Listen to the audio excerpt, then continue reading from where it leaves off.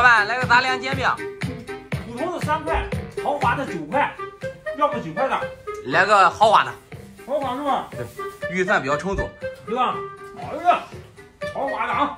哎，哎，哎呀，啊，橡皮泥呀、这个煎饼煎出来这样筋力好。哦我们山东煎饼一定追求的就是这个口感好，筋力好。那你要豪华的是吧？对豪华的哎呦，这个大单啊！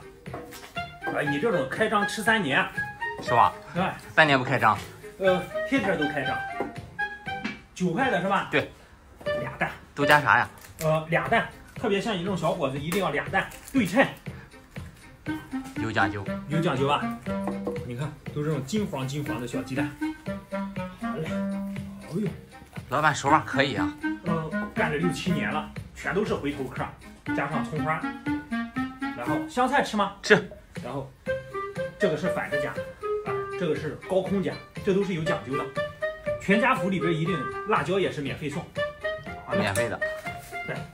是。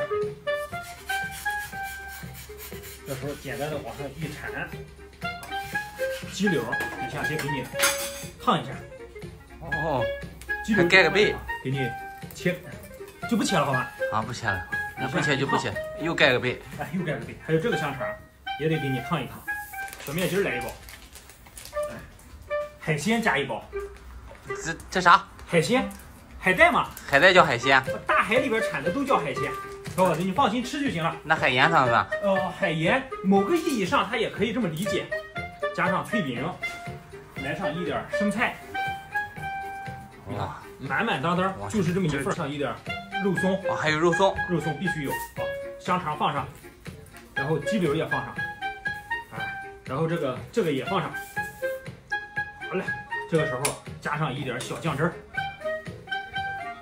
哎呀，这就是满满当当全家福啊！小伙子，你回家一个人吃还是家人一起吃啊？我一个人吃，我饭量大，我年轻呀。属猪是吗？啊，对，你咋知道的？面相上就看出来了。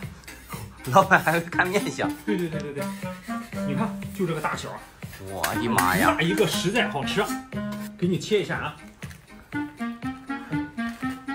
这九块钱，这超值我们主打的就是好吃不贵，经济实惠。啊！这感觉，呃，味儿还行，就这个味儿。啊是吧？嗯，我还没吃你就先吃了。嗯，那掉了也就掉了，这样不浪费。我们主打一个不浪费。老板说的有道理。那九块小伙子，好嘞，谢谢老板。